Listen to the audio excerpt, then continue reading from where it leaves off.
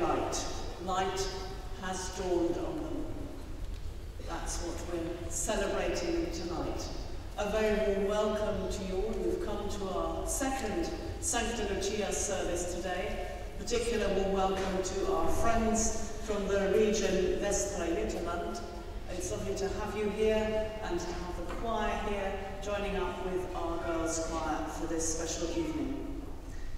It's not going to be any more special if we have flashlights and photography, so can I please ask you not to take photographs or record and make sure your mobiles are switched off so that we retain the atmosphere we're looking for tonight. It is being recorded on Hexham TV, so you can catch up on their Facebook page later if you wish. I need to tell you about the emergency exits. There are stewards around who will guide you. So in the unlikely event of us having to uh, leave the building, please remain seated until the stewards guide you. For those of you sitting in front of me here in the nave, there are the entrances right at the big west door or the southwest door, the porch where you came in. Um, for those of you sitting here in front of me and the choir, you can go out this, this way um, and there's also uh, a smaller door out there for those uh, sitting here will be guided round past the high altar out there. Lucy, Sancta Lucia, was martyred in the 4th century in the Diocletian persecution, and a lot of her life story is lost in the, in the mists of time. But there was a young woman who was martyred, and when we remember Lucy, when we remember Santa Lucia, we should also remember all those who are to this day persecuted for their faith or for conscience' sake. One candle in the darkness, and the dark is filled with light.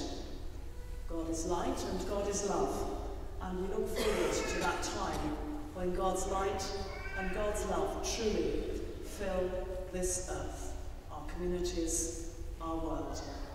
Let us pray. God, our Redeemer, who gave light to the world that was in darkness, shed that light on us, we pray, that with your martyr Lucy, we may reflect the light of Christ. Amen. Come, come, Emmanuel.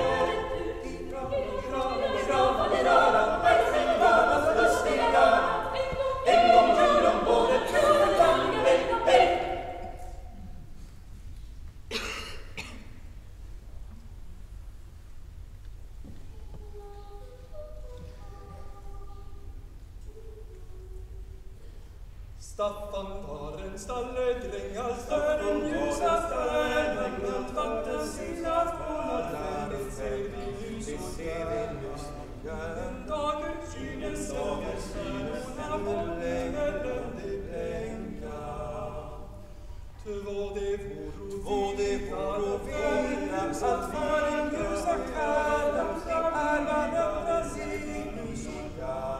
Bis sieben Tagen, ja, Tagen, sieben Tagen, schönes Sende blendet.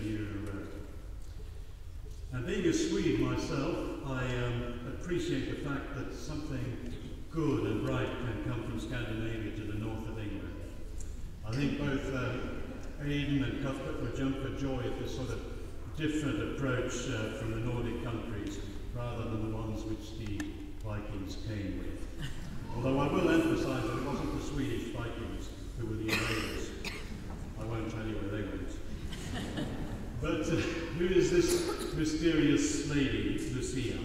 Well, Dagmar told us a little bit about her. But what's her mission? There's so many stories about her, and I think that even more got invented as the tradition grew. And when Christianity came from southern Europe to these cold northern countries, it also brought the story of Lucia with it. And that story somehow became a celebration of light in the midst of these dark winter nights in Scandinavia. And very soon it took the form of this procession of a girl with a wreath of candles in her hair, walking along with slow strides, often with a train or procession of handmaidens following her. And another tradition later on made it possible for boys follow as well as star boys. You can see the stars on their pointed hats there. But the bottom line is that Lucia became someone who brought light, light to people. And as long as I can remember, I have celebrated Lucia.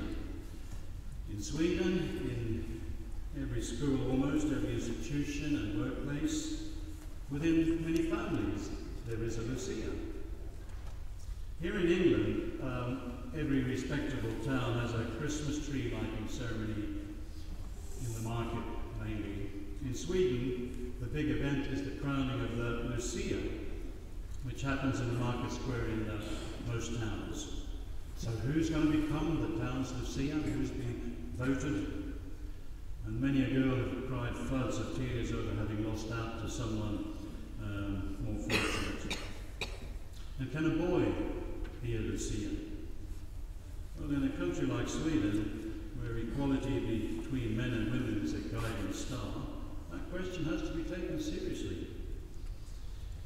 In our home, it's my wife who every year dresses in white with a wreath of electric candles on her head, approaching her dozing husband, carrying a traditional tray of gingerbread and saffron buns, and if I'm fortunate, some glögg as well, though not this year. But I can smell it in the background here. Now, although the uh, Lucia tradition has become commercialized and distorted in many ways, it is a tradition that belongs to the church and it should be celebrated here. Can there be a better and more relevant message? Lucia confidently striding down the aisle, demonstrating so clearly what Jesus told his followers when he said, You are the light of the world. And he continues, Let your light so shine before men that they may see your good works and glorify your Father in heaven. He said, as we all know, that I am the light of the world. Whoever follows me will not walk in darkness, but have the light of life. But he also said, You are the light of the world. The light has a quality. Not only is it bright, it's also good. And God saw that the light was good. Light is something good. Even when the light reveals things hidden in darkness, when it reveals lies and secret agendas and manipulations for everyone to see, it's still good. Light is good. But the big Lucia message to us in the name of equality is that we are all light bearers. We are all equipped with the light of God, the light that is good. And is there any more important message in a time when we see so much darkness out in the world and hear so many things that are wrong than this. You are the light of the world. I guess if somebody asked you, where can you see light and hope today? What would your answer be? Brexit? Maybe not. Many of us would point to a child. See, there's, there's the light and hope for the future. They'll do a better job of everything than we've done. Maybe that's true. I can think of one quite recent and shining example. There's this young Swedish activist, Greta Thunberg. She's 15 years old, and she's been on school strike every Friday this autumn, with the blessing of her school, sitting all day outside the House of Parliament in Stockholm for the sake of getting politicians to act on climate breakdown. And she has Asperger's syndrome, which helps her to be very firm in speaking out. And during this time, this autumn, um, her actions have inspired and provoked people all over the world. She's been in the Parliament Square in London and talked to thousands of people there. Um, she was recently invited by the United Nations to the Worldwide Climate Conference in Poland, where she addressed the whole assembly two weeks ago. This 15 year old is shining her light. She's helping others, including politicians and climate scientists, to be more outspoken, more direct. Don't say just, do. It's a bit like the story of the Emperor's new clothes, isn't it? Where a little boy shouts out that the Emperor isn't wearing any clothes, when everyone else was pretending that he was wearing the finest material. When the boy speaks out, suddenly everybody raises their voices. So the light bearers, the Lucias, they're people like this little boy like, and like Greta, but they are there to help us recognize that we are also light bearers. And when Jesus tells us that we are the light of the world, he is saying it to ordinary people, most of whom were poor and struggling. It was another way of saying you had something really good from God inside you. You are the light of the world, if you consider yourself a failure, a bad husband or wife, or parent, a loser, working with a job you hate, if you have an addict of some kind, if you're ugly or overweight or bullied or stupid or whatever, you are the light, even when you don't like yourself very much. That's the miracle of light. God in you, it's still there, even in the shadowlands of your personality. And I realise that this can be difficult to grasp because there's so many things in life that combine to try and tell us that we don't have this wonderful light within us. And many of us have come to believe that it's a lie. Now, Lucia back here, she has several candles on her wreath, and they represent that there are several ways, different ways of showing our light. And her slow stride is telling us be confident in who you are. Be confident in Jesus. Believe in him when he says that you are the light of the world.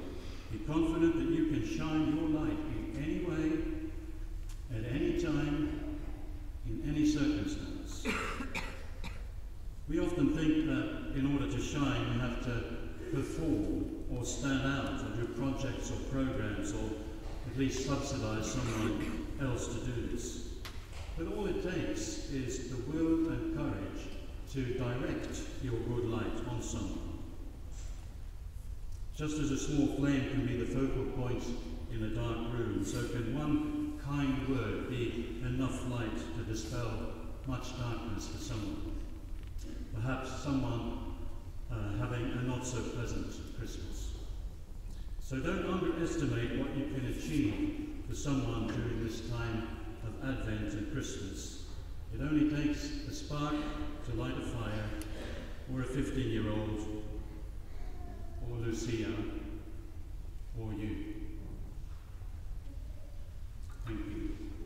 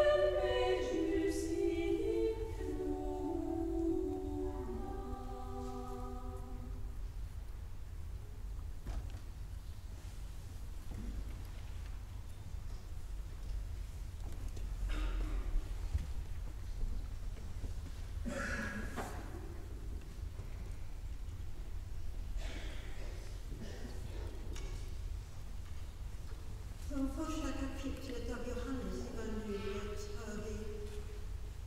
I begynnelsen fanns Ordet